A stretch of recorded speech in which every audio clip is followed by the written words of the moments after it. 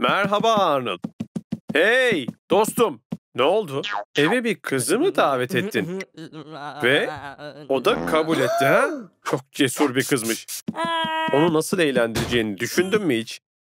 Evet, yerinde olsam yemeği dışarıdan sipariş ederdim. Arnold, süt, yumurta, tavuk, balık, buğday, soya, fındık ve karidesli bir turta yapmaya mı karar verdin? Hiç de iyi bir fikir değil. Bunlar en çok alerjiye neden olan 8 yiyecek ve tüm alerjilerin %90'ını oluşturuyorlar.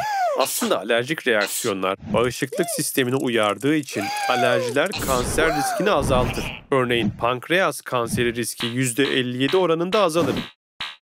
Yani yaklaşık 20 yıl daha fazla hapşırabileceksin.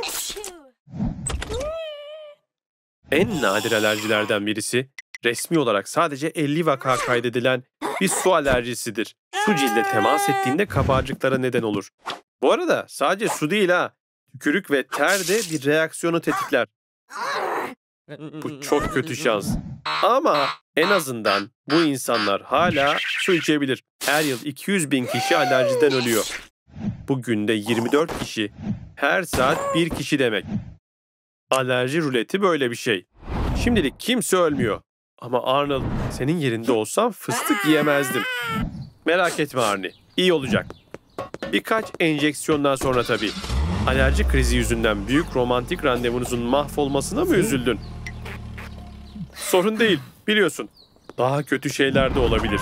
Napolyon Bonaparte'ın Waterloo Muharebesi sırasında alerji krizi geçirdiğine dair bir teori var.